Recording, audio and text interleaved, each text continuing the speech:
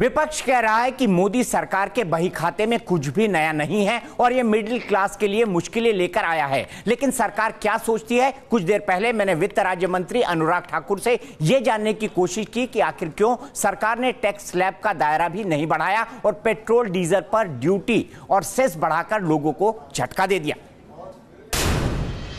ऐसा लग रहा था कि थैंक्स गिविंग होगा, जो मिडिल क्लास वोटर होता है, जिसने आपको बड़ा बम्पर वोट दिया है इन चुनाव के अंदर, और इनकम टैक्स स्लैब में परिवर्तन होगा। लेकिन ऐसा नहीं हुआ। समाज के कोई वर्ग हो, सबका योगदान हुआ, तभी बम्पर सीटें जीतकर आ पाए। अगर आप देखें तो आज से चार पाँच महीने पहले ही बजट में, जो हिंदुस्तान के इतिहास में कभी नहीं हुआ था, पाँच लाख रुपए की आय तक आपको कोई टैक्स नहीं देना है। ये भी मोदी सरकार ने करके दिया था। और आपके यहाँ पर रोज़गार ज़्यादा बढ़ सके, ज़्यादा निवेश हो तो जो कंपनीज़ जो पहले दो ढाई सौ करोड़ रुपये तक की टर्नओवर वालों को 25 परसेंट तक टैक्स देना पड़ता था, अब उसको बढ़ाकर 400 करोड़ किया गया। बहुत बड़ी राहत है। लगभग 99.3 परसेंट उसमें कवर हो जाते हैं। मात्र पॉइंट सात परसेंट लोग हैं जिनको 30 परसेंट टैक्स देना पड़ेगा। तो कुल मिलाकर उनको लाभ मिला। जो हमारे स्टार्टअप इंडिया है, जो हमारे युवा हैं, जो नया कुछ करना चाहते हैं एंटरप्रेन्योर बनना चाहते हैं सो कॉल्ड एंजल टैक्स उसका कहा जाता था। फेयर वैल्यूएशन की बात की जाए इनकम टैक्स के नोटिस की बात की जाती थी। फिर जब वो अपना घर बेच के पैसा लगाते थे तो उसके ऊपर long term long term capital gain की बात की जाती थी। इन सब में इतनी बड़ी राहत दी है तो युवा वर्ग को नरेंद्र मोदी जी की सरकार ने दी है। दस हज़ार से ज़्यादा ऐसे क्लस्टर्स बनाने की बात जहाँ पर कारीगर ट्रेडिशनल क्षेत्रों में काम करते हैं। पचास हज़ार से ज़्यादा लोगों को उनको लाभ मिलेगा। ग्रामीण क्षेत्र में स्किल डेवलपमेंट उन क्षेत्रों में बात की गई जहाँ पर आज तक फोकस नहीं किया गया। इससे ग्रामीण क्षेत्र से लेकर शहरी तक सबको लाभ मिलेगा। स्टैंड अप इंडिया प्रोग्राम में जिस तरह से एस सी समाज ने शानदार बढ़त लेते हुए काम किया है अब उस दिशा में मोर आगे काम करने वाले उनको और एंटरप्रेन्योर्स कैसे बनाए कैसे उनका आय के साधन बन पाए? इंफ्रास्ट्रक्चर में हमने देखा पाँच साल में अच्छा काम हुआ बढ़िया काम हुआ देश के अंदर। लेकिन अब अगले पाँच साल के लिए जो टारगेट है वो सौ लाख करोड़ रुपए का है। बहुत बड़ा अमाउंट है। ऑलमोस्ट एक साल एक साल अगर हम बीस लाख करोड़ हर पाँच साल के अंदर डाल दे तो सौ लाख करोड़ होता है। और उसी के आसपास कहीं हमारे पूरे देश का बजट होता है। सवाल यह है कि देश इतना पैसा मैनेज कैसे करेगा? क्या परंपरागत तरीकों से या गैर परंपरागत तरीकों से? दोनों से। क्योंकि उसके बिना संभव नहीं हो पाएगा। इसलिए मैंने कहा, जैसे मान लीजिए हमने अपनी जो सरकार की कंपनियाँ हैं पब्लिक सेक्टर उनमें भी अपना हिस्सा कम करके कैसे पैसा ज़्यादा रेज किया जा सके। एफ़ किन किन क्षेत्रों में? जैसे सिंगल ब्रांड में रिटेल सेक्टर में है, उसको नॉर्म्स थोड़े ईज करने की बात कही गई, उसमें उससे लाभ मिल पाएगा। और किन किन क्षेत्रों में एफ़ आ सकती हैं? जैसे रेलवे का क्षेत्र है अगर आपको उस क्षेत्र में आधारभूत ढांचा सुदृढ़ करना है तो आपको हर साल उसके लिए बहुत पैसा चाहिए। सरकार मान लीजिए तिरपन हज़ार करोड़ रुपया उसमें देती है, आप बढ़ाकर साठ पैंसठ हज़ार करोड़ रुपया कर भी देगी तो उससे कई गुना ज़्यादा पैसा आपको प्राइवेट क्षेत्र से लाना पड़ता है। इसी तरह से सड़कों में भी है।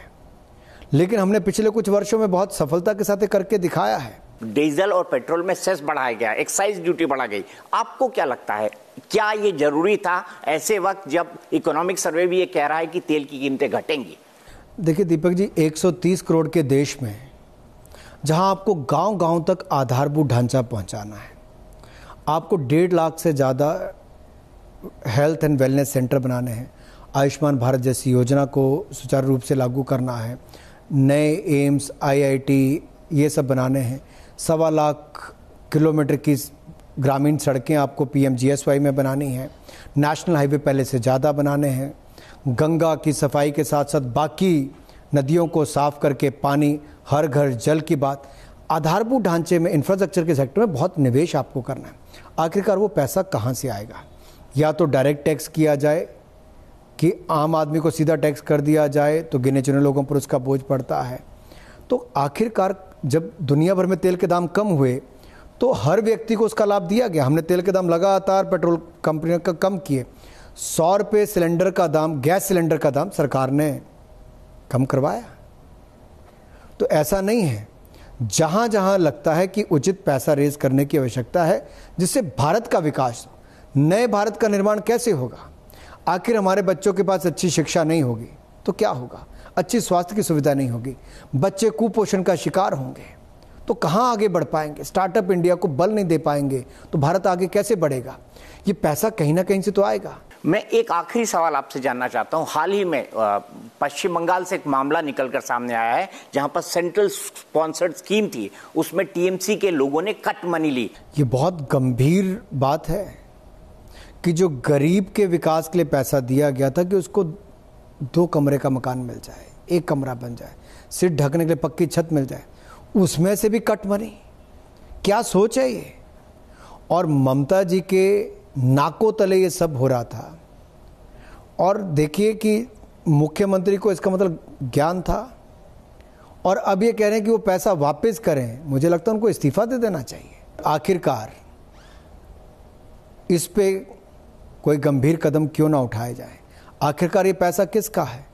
उस टैक्स पेयर का है जिसने देश को आगे बढ़ाने के लिए अपनी ईमानदारी की कमाई में से देश के खजाने में टैक्स दिया और सोशल सेक्टर में लाभ देने के लिए यानी कि गरीब लोगों के उत्थान के लिए पैसा दिया गया उसमें से भी कट मनी खाई गई इस पे उचित कार्रवाई बनती है। तो आप कह रहे हैं कि आने वाले समय में इस विषय पर जाँच हो सकती है?